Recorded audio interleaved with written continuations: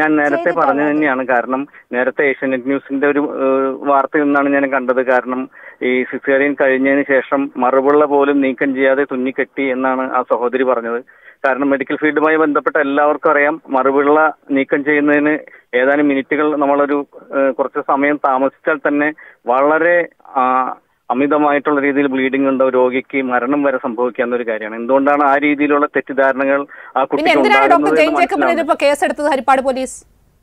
ഈ ഈ ഈ പേര് പറയുന്നത് തന്നെയാണ് ഞാൻ എടുത്തു പറയാനുള്ളത്. കാരണം നേരത്തെ ഞാൻ പറഞ്ഞ മറ്റൊരു കാര്യം അതാണ്.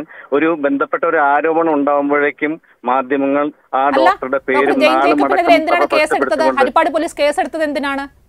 അതായത് ഒരു കേസ് കൊടുത്തു കഴിഞ്ഞാൽ നമ്മൾ ആരെങ്കിലും പരാതി കൊടുത്താൽ കേസ് എടുക്കുക എന്നുള്ളത് തികച്ചും സ്വാഭാവികമാണ്. അതൊരു മെഡിക്കൽ നെഗ്ലിജൻസ് ഉണ്ടോ എന്നുള്ളത് അടുത്ത ഘട്ടത്തിലുള്ള ഒരു മെഡിക്കൽ ബോർഡ് കൂടിയുള്ള അന്വേഷണം ഒക്കെ കൂടി വഴിയെ അത് തെളിയേണ്ട ഒരു കാര്യമാണ്. ഒരു ആരെങ്കിലും പരാതി കൊടുത്താൽ കേസ് എടുത്തു എന്നുള്ളതുകൊണ്ട് മാത്രം നമ്മളതൊരു മെഡിക്കൽ നെഗ്ലിജൻസ് എന്ന് എങ്ങനെയാണ് പറയാൻ കഴിയുക? അതായത് താങ്കൾ ഉറച്ചു നിൽക്കുന്നു. ഇപ്പോൾ അങ്ങനെ ഒരു വീഴ്ച ഈ ഹരിപ്പാട് ആശുപത്രിയുടെ ഭാഗത്തുനിന്ന് ഉണ്ടായിട്ടില്ല. ഇവരുടെ ശരീരത്തിൽ ഒരു വിധത്തിലുള്ള മെഡിക്കൽ വേസ്റ്റും ശരീരത്തിൽ ഉണ്ടായിട്ടില്ല.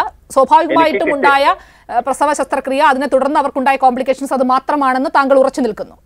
ബന്ധപ്പെട്ട ഡോക്ടർമാരിൽ നിന്നുള്ള അറിവ് വെച്ചാണ് ഞാൻ നേരത്തെ പറഞ്ഞ കാര്യം.